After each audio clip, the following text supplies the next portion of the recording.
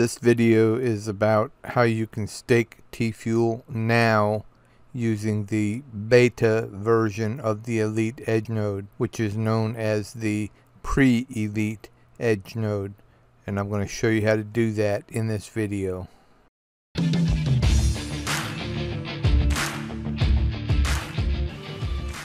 Okay, what we're looking at is the Theta Edge node and this is the main screen that most everybody is familiar with. What a lot of people don't realize about the Theta Edge node is the fact that there is a pre-elite Edge node version and they have it and the way you access it is to go down here to the lower left where it says stake T-Fuel. You click on that and it brings this screen up which says pre-elite edge node and it has the ability for you to stake. And the minimum amount of T-fuel that you can stake is 10,000 and when you stake at least the minimum of 10,000 it activates the pre-elite edge node for staking and you can stake as much as 500,000 T-Fuel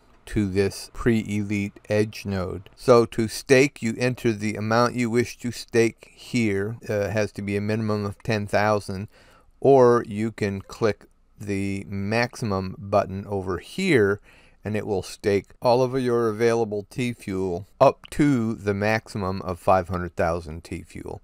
Then you will click down here where it says stake T-Fuel and it will stake the amount of T-Fuel you specified. Let me also point out that the address it says here under staking from is the wallet address of the wallet you set up your edge node with and the T-Fuel that you are going to stake needs to be in that wallet based on that wallet address, it tells you here the available T-Fuel amount. So if that says zero, that means your T-Fuel isn't in that wallet and you won't be able to stake. Okay, if you found this helpful, go ahead and hit that thumbs up button for me if you would on your way out, and I'll see you in the next video.